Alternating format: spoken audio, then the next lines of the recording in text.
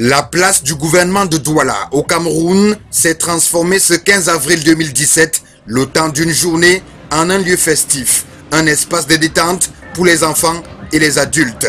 C'était à l'occasion de la toute première édition de l'événement dénommé la chasse aux œufs de Pâques. C'est un événement ludique, c'est-à-dire divertissement. Il tourne autour de deux choses essentielles. Nous avons la chasse en elle-même et également une kermesse. Cette kermesse, ce sont de nombreuses activités, dont des jeux et ateliers.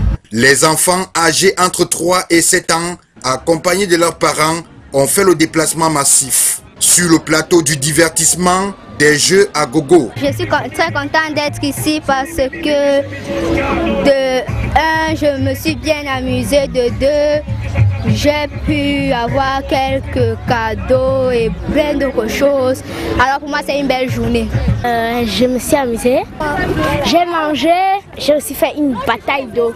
Le point culminant de cette partie de détente, la chasse aux œufs de Pâques. Dans ces boules sous la forme des œufs en plastique, de nombreuses surprises pour les bébés. Pour nous, qui constitue une première, mais qui est déjà un grand motif de satisfaction et nous appelons à pérenniser l'activité pour les années à venir. Un événement soutenu par la communauté urbaine de Douala. Le délégué du gouvernement Fristonin Tonin a fait le déplacement pour donner son onction.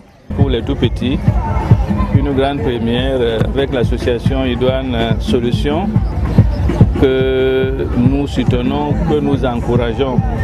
Parce que de mémoire de citoyens de la ville de Douala, c'est la première fois que un tel événement pour tout petit est organisé. Vous avez vu que les enfants sont orange, euh, sont très contents. Musique, art, conte et gastronomie, un programme dédié aux enfants pour une fête de Pâques différente.